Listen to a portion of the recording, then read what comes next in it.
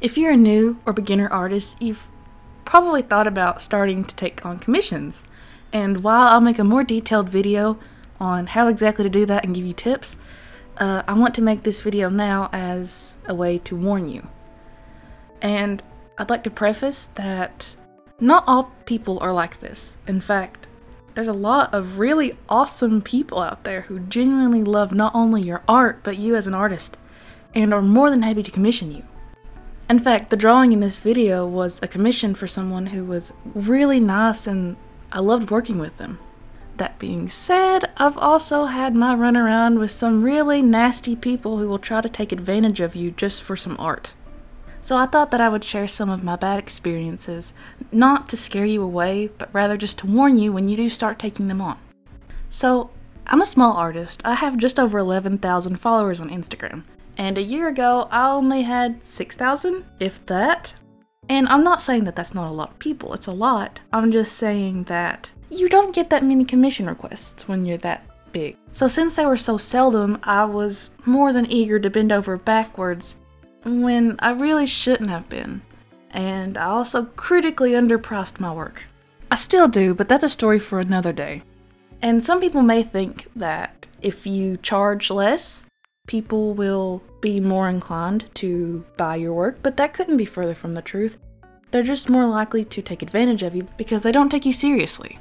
So here comes this one girl sliding into my DMs. Let's call her Ruby. Yeah, we'll call her Ruby. She sends me a message talking about how not only she loved my art, but loved me as a creator and wanted to know my commission prices.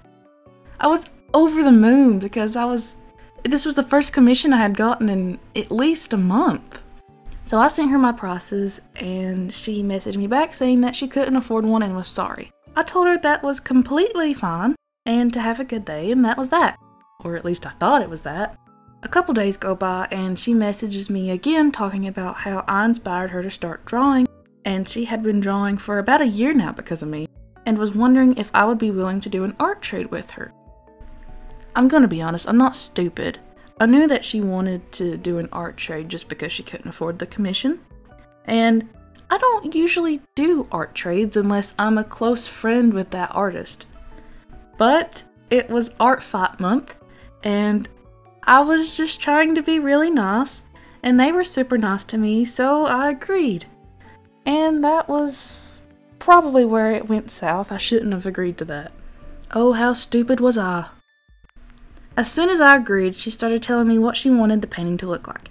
And it was such an odd request. She sent dozens, I kid you not, dozens of pictures of her character in the same exact pose, outfit, and background that other artists have made. And sent me over 40 messages. Yes, 40. I'm not making this up. 40 messages talking exactly how she wanted it to look like. And I think the weirdest part of this entire request was the fact that she didn't even want me to use my art style, and I feel like that would defeat the purpose if she wanted it simply because she liked my art. And so in return, I asked if she would draw a picture of my persona and that she had creative freedom over the pose and stuff, just as long as it was my persona. And I'm not sure why, but this flipped a switch in her. She started talking about how I'm not entitled to a drawing of hers, and so she's not willing to draw anything for me. Rather, she would just send me a picture of something that she drew in the past. And here's where the hypocrisy comes in. She wouldn't draw me anything because I wasn't quote unquote entitled to it. However, if I wouldn't draw her the picture that she wanted, then she would block me because she didn't have time to waste on incompetent artists like me. And so she she blocked me before I even replied. Not sure why. a week goes by, so I thought that I would never hear from Ruby again. But then I get a message request from a different account. This person asks for my commission info just as Ruby did, but this time they said that they would be willing to commission me, and I was ecstatic. I mean, of course I would be.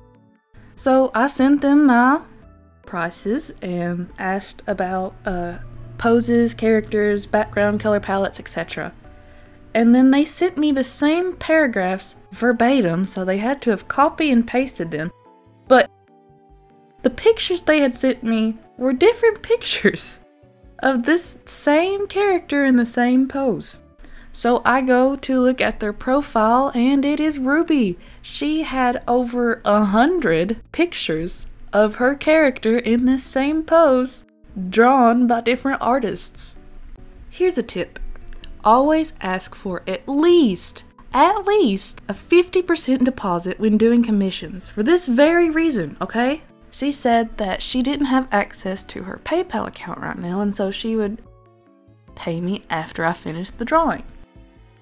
A 50% deposit keeps both the artist and the client in check.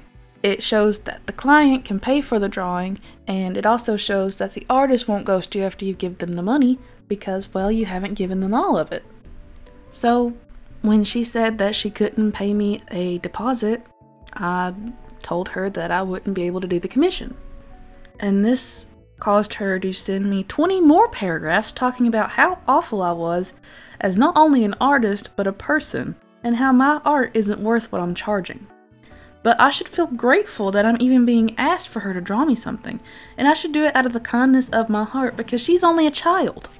She also calls me a lot of bad words for no reason. You female dog. You garden tool. So now she's blocked me for a second time on this account. Here's another tip.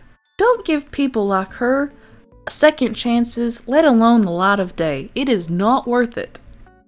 Because a couple days go by and she unblocks me saying that she's doing a do this in your art style challenge and wants me to join.